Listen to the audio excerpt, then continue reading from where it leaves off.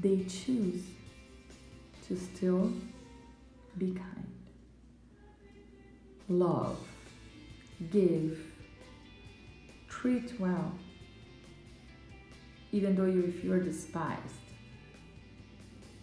Uh, acknowledge, even though you don't have full um, understanding of people's situation.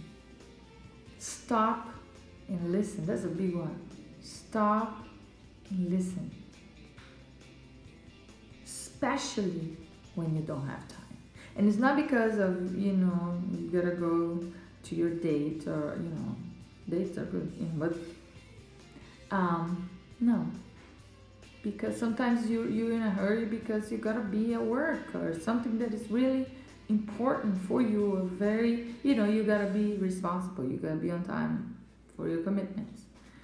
But those people that sometimes it seems it's gonna be take so much, but sometimes it takes just seconds for you to do eye to eye contact and acknowledge or smile or just say, Can I help you? Do you need anything? Or good morning. You know? And more and more with technology, with everything that goes on in the world today, all over the world, people tend, and I'm for technology, I love technology, but more and more, especially in big cities like New York City, people tend to be more and more alone and private. That's another thing that I love. I love privacy. I love to have my own space, do my own things, and I love to interact with big people as well. But I think everybody needs a little bit of both. But you know, um, despite of all that, to take time to get to know somebody, to care about somebody, to do your job with the best of your abilities, to like um, take care of your house with the best that you can, with using what you have. That's something that I, I'm gonna that my plans to make videos about. You use what you have, um, and make the best out of it. You know. And I came to the same answer for all those people that I taught about it from my past, from now, little things, small things of everyday life, and people that keeps giving and giving and giving and giving and giving and giving to me every single day. And there are those people that we don't even know that they're giving, and they don't care if people see them giving or not but they do it anyway. You know, they know those people that just have that sense. Is it's just I do just because it's the right thing to do. You know, I was like, yeah, who doesn't do that? Many people. Many people nowadays, society nowadays, in my opinion, are more and more selfish. They just people more and more don't care. I don't care. This isn't. I don't care. This is I don't care. This per I don't care. I care about my stuff, mine, mine, mine. My career, my promotion, my computer, my phone, my my car. It usually is stuff. They care more about stuff than about around them. You know? And some people they just wake up late. It's too late sometimes. Like sometimes certain people they they just wake up like from their selfishness when they lose someone that they love, when they lose something that they they care about is good for them. So, all this to say, I want to challenge you and about thinking think about love. and I think I'm gonna make a ser- series about it, about this thing. I'm gonna. But anyhow, today my my talk to you is, you know, my question is, why some people like to give, give, give, give, give, even though people sometimes don't acknowledge, people don't say thank you, people don't care, people despise they still give. Love. Love.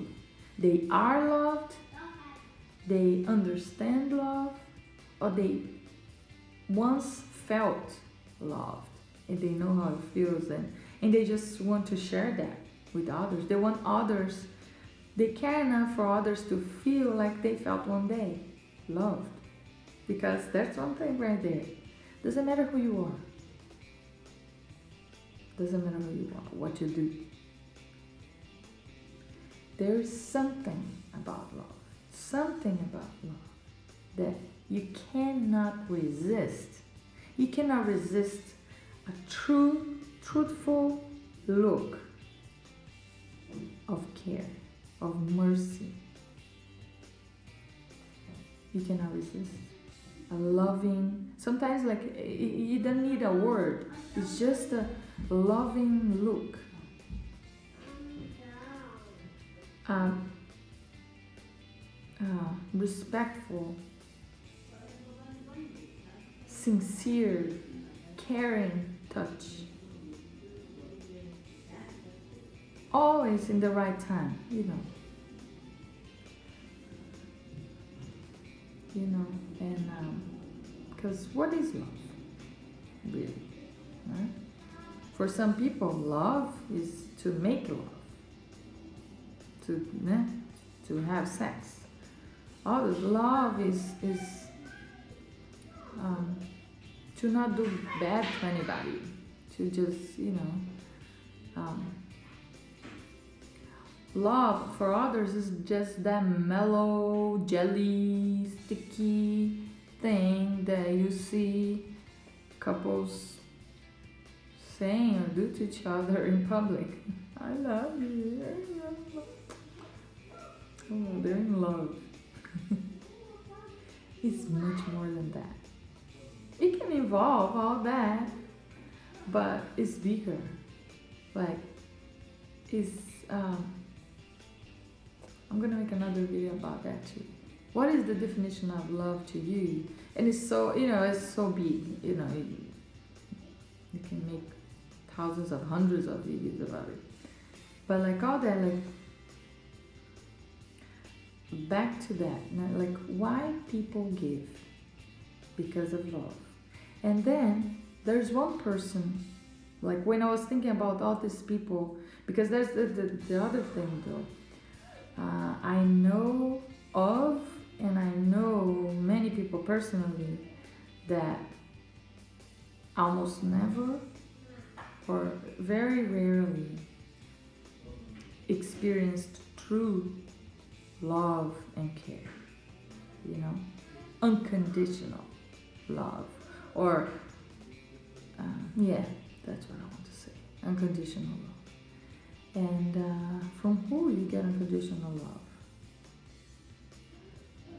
There's another good question, but you know, just people uh, i know many people that never had anybody who cared for them that's why that's why you meet a lot of people nowadays they're so sour and angry and some becomes like they become monsters really i call monsters somebody that develop a taste and pleasure for doing evil to others every single day all the time that's what I classify as monsters. Or, you know, like evil people. Because we know that this world is evil, it's full of bad people, right? That, you know, if you really think about it, if you watch the news every day, if you, you just, you know, you can be, fulfill your life with fear and junk and bad news, you know Not that you shouldn't watch the news. Yes, you should. You know, all the time. But sometimes to just be aware of what is going on. But um, you should make news also. Not watch life pass by, but you should make. You should write the books also, not just read them. You should make the movies, not just watch them. Believe.